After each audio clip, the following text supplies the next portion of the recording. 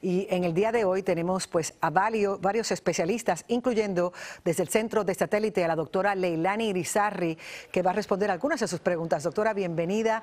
Eh, hay mucha información, particularmente en las redes, que puede estar causando confusión. Una de las cosas que se dice, que la he escuchado en un sinnúmero de veces, es que uno puede hacerse una supuesta autoprueba si logra retener la respiración por al menos 10 segundos y no tose ni tiene molestias respiratorias, significa que no tienen coronavirus según dicen. ¿Qué es cierto o no es esto? Eh, buenas tardes, María Celeste. Permíteme ser bien claro en esto. No hay ninguna prueba que uno pueda hacer casera que en realidad nos dé un resultado.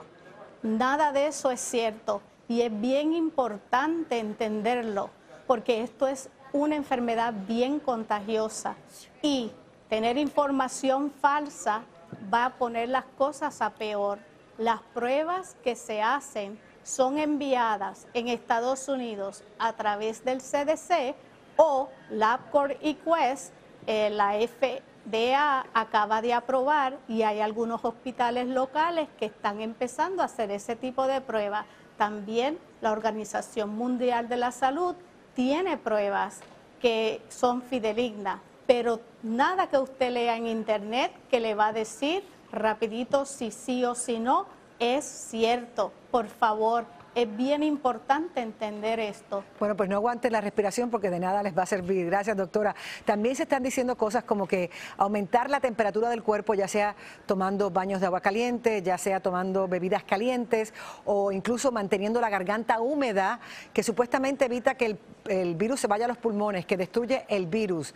¿Cierto o falso? Falso. Nada de eso se ha investigado, nada de eso se ha corroborado. Eso es falso. Doctora, quería preguntarle, eh, ¿cómo está viendo usted la situación en los hospitales en términos de al día de hoy? Porque sabemos que hay un número oficial de enfermos, pero como no han habido pruebas disponibles, a pesar de lo que ha dicho el gobierno, eh, sabemos que ese número es mucho más alto de lo que se dice oficialmente. Sí, ese número es más alto de lo que se dice, en parte también porque a los pacientes que están más enfermos se le hacen pruebas confirmatorias, ¿no? Y también se cree que por cada paciente que esté bien enfermo pueden haber 25 personas con un catarro en la comunidad. Y por eso es la importancia del distanciamiento social para proteger a las personas que son más vulnerables. Sabemos que no hay cura eh, para este, este virus. Las personas que estén en la casa y de repente empiecen a tener los síntomas, esas personas, ¿qué pueden tomar en su casa para aliviar los síntomas? En la casa pueden tomar eh, medicamentos como para la influenza, para el flu, para el catarro, mucho líquido, descanso, tratar de no estresarse ante toda esta situación. Pueden tomar medicamentos para la tos, para el, dolor de cabeza, para el dolor del cuerpo, para la fiebre, eh, sobre el counter, esos medicamentos que se pueden conseguir.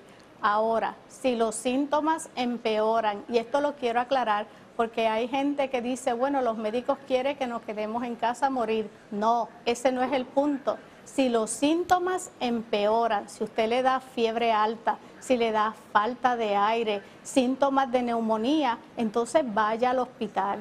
Pero el punto es que si usted tiene un flu-like syndrome, ¿verdad? Un, catarro, mejor quédese en casa porque va a pasar. Es un virus y va a pasar si su sistema inmunológico es fuerte.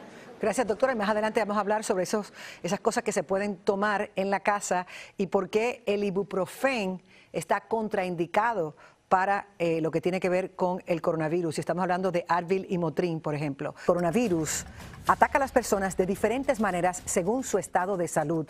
Eh, el virus causa síntomas eh, leves, casi imperceptibles, en aproximadamente el 82% de